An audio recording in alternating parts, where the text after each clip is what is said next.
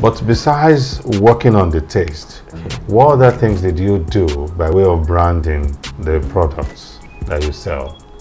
Um, aside aside the meal, I know you brand your carts. you know, we, we we've done so many. I mean, there are ways to identify our brand. We thought with our horse that you can tell this is Dundu Nigeria. So from the logo to the boxes to the cart, to the branded shirts,